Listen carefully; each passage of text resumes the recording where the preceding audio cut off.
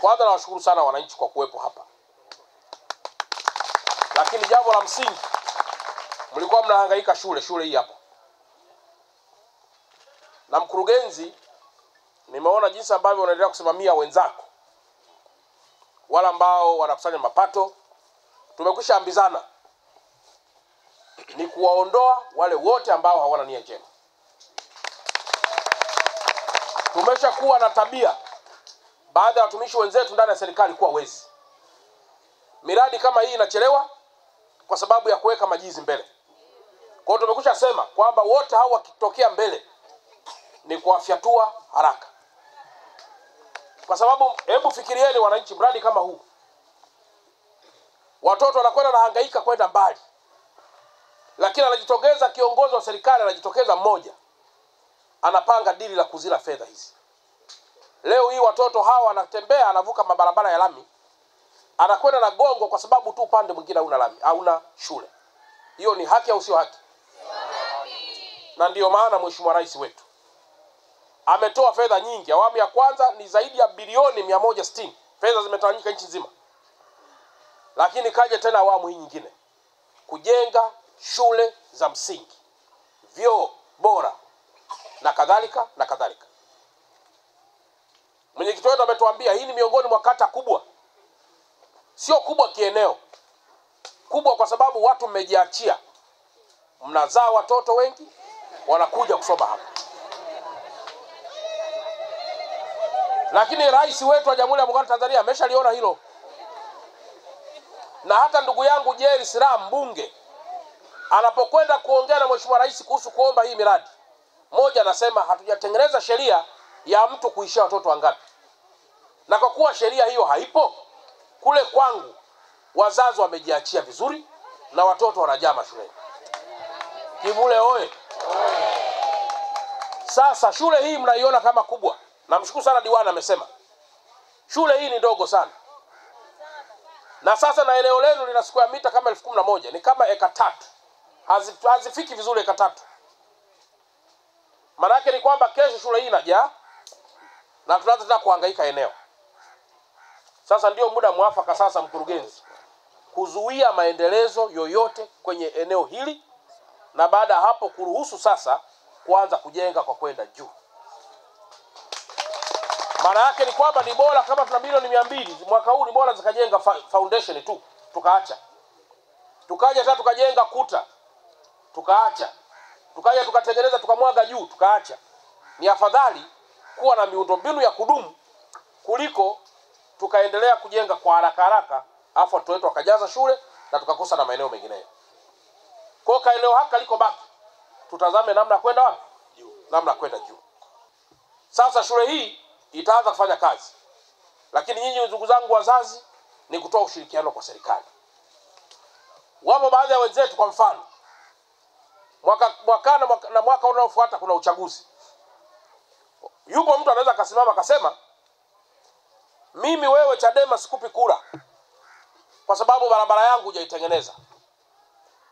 Mwingine akasema, wewe CCM sikupi kura kwa sababu barabara ile hujaitengeneza.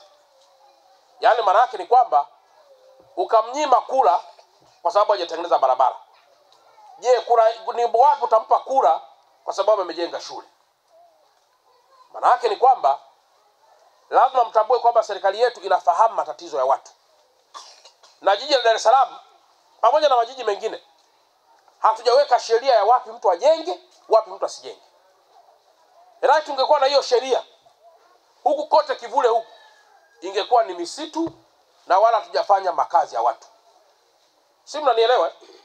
Lakini leo kwa sababu ya uhuru, mmoja anajenga Kinondoni, mwingine anaamua yeye mwenyewe kwa uhuru wake anakuja anajenga Zingiziwa, mwingine kwa uhuru wake anakwenda kujenga Madale. Sasa ukiangalia watu wanaanza kumfuata wa Madale, watu wanaanza kumfuata wa Kivule, wanamfuata kabla ya huduma hazijafanyaje, hazijafika. Wakikaa kule wanaanza kulalamika, sisi hatuna barabara, sisi hatuna umeme. Ndugu yangu, mbona uliamua mwenyewe kwenda mbali huko, wakati huku kulikuwa kuna huduma za maji na kila kitu? Mwisho wa siku mkiangalia haya maeneo yenu yana historia.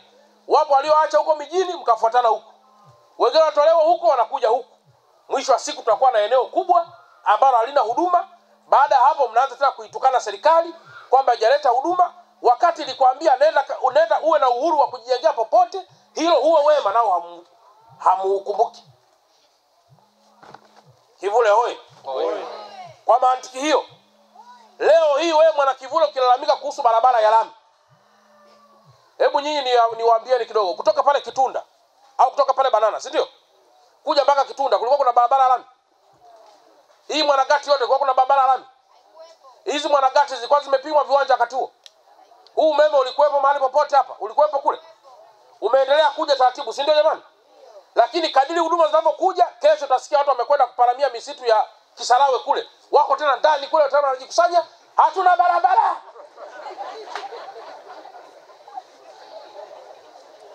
Sijui mnanielewa eh? Hatuna maji. Sasa unajiuliza, mbona uliacha maeneo yenye maji? Ah, kule viwanja bei mno. Sawa, kwa kuwa wewe umeamua kuja kujenga huku, tulia taratibu, huduma zitakufuata tara. Kivule oye! Kwa hiyo tusiwe watu wepesi wa mwaka elfu mbili na ishirini na tano. Alafu wapo watu pia ambao akili zao ni ndogo kidogo. Utasikia sasa, kwa kuwa sijaletewa barabara naipiga chini CCM. Brother, sikiliza nikueleze, hiyo itakuwa ni sawa na kuweka sukari kwenye bahari. Ukidhani bahari itakuwa itakuwa na ladha ya sukari. Wala usije ukafanya michezo hiyo,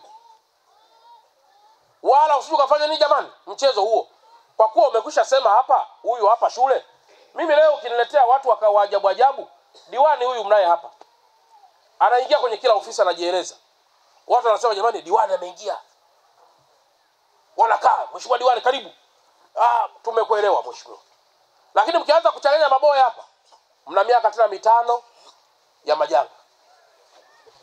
Mkuu wa mkoa nataka niongee na wewe, nakwambia ina shida brother, tuwe tulia, tumira kuja. Huyo natokea vichocholoni. Si wewe ulisema unaniadhibu? hasa kama unaniadhibu, pokea matokeo ya adhabu. Uongo kweli jamani?